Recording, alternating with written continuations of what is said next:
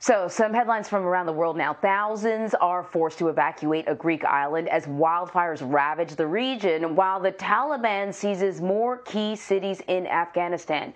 Ian Lee, following these stories as well as others for us. Good morning, Ian. Good morning, Anne-Marie. Yeah, what we're seeing uh, right now is a shift in the Taliban's offensive. Up until recently, it's been, the Islamist group has been taking large parts of the countryside, but now they're targeting cities. Three regional capitals in the northern part of the country are the militants' latest prizes. And that brings their total now up to five capitals captured.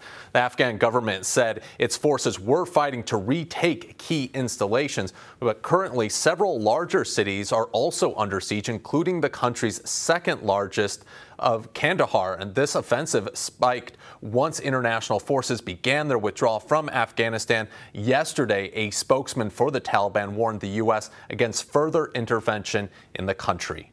We are moving on to Greece, where wildfires have forced people to flee their homes on the island of Evia. Local officials say they just aren't getting enough help to fight the fires. More than 2,000 people have already been evacuated.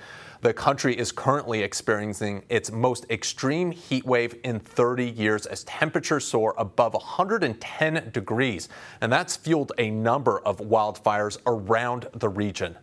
Next, we're in China where the tech giant Alibaba is firing a manager accused of rape. Police are looking into the allegations made by a female worker against her boss, and she says he raped her in a hotel room while she was unconscious after a night of drinking.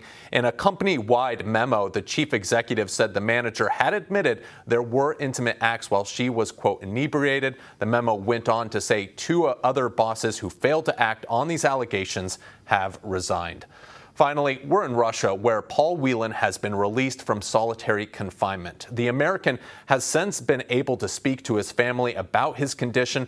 The former Marine's brother told CNN he was able to survive, no worse for the wear, but that he was wary on the phone. Last Friday, the U.S. Embassy said the Russian government has not responded to their request for updates about Whelan's condition.